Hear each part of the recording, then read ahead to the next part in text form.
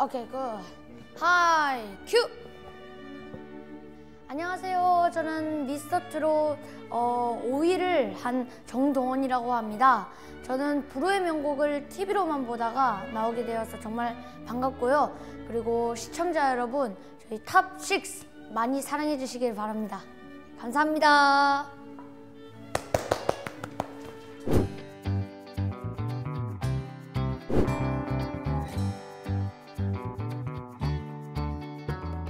제가 전국 노래자랑을 약 2년 전에 경남 함양군 편에서 제가 우수상을 받았는데요.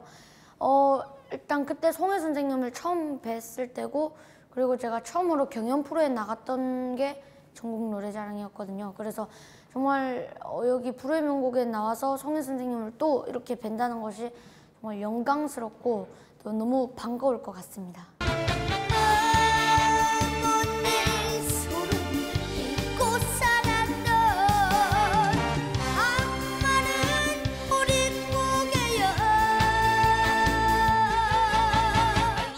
어떻게 나온 생각을 해서 그래?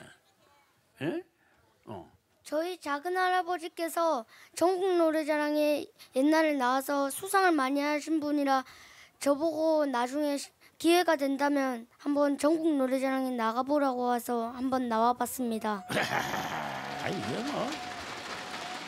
잘 나왔어요. 함양에 기대되는 보배입니다. 함양군 나왔을 때 그때 어, 함양의 보배 이러면서 막 소개도 하시고 무서우실 줄 알았는데 실제로 해 보니까 어, 송 교수님 저한테도 잘 해주시고 그리고 저랑 잘 놀아주시고 네 그래가지고 그래서 엄청나게 편안하고 또 정말 할아버지처럼 진짜 친할아버지처럼 편안한 그런 선생님이었던 것 같아요.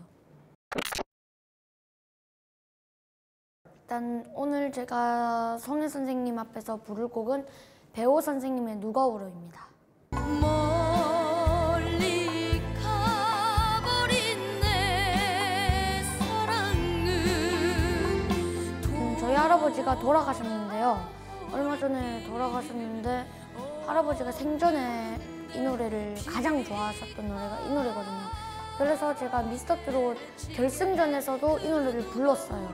그리고 그래가지고 이제 불의 명곡에도 이게 나오기가 쉽지가 않잖아요. 근데 이제 나왔으니까 뜻깊은 자리에서 할아버지를 위해서 어, 그리고 송혜 선생님을 위해서 음, 노래를 불러봐야 되겠다 해가지고 누가 오러를 선택했습니다. 일단 할아버지랑 할머니가 저를 어릴 때부터 키워주셨고요.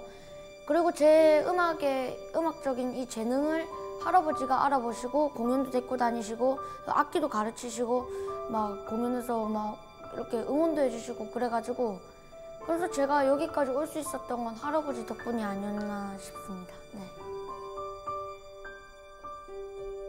누가 제가 어 미스터 트롯을 나와가지고 이렇게 유명해져서 갑자기 그래서 불의 명곡 갑자기 나올 거라 생각했겠어요. 아무도 그거는 모르는 건데 갑자기 이렇게 확 변해가지고 너무 갑작스럽기도 하지만 여기 나온 건 너무 좋은 것 같아요, 진짜로.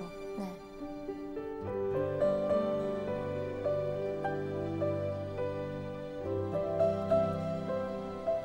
어, 불후의 명곡을 워낙 유명한 프로다 보니까 할아버지도 즐겨 보셨어요, 이 프로를. 그래가지고 아마 제가 이거 나간다고 하셨으면 아마 구경 오고 싶다고 하셨을 수도 있고 그리고 엄청나게 좋아하셨을 것 같아요. 네.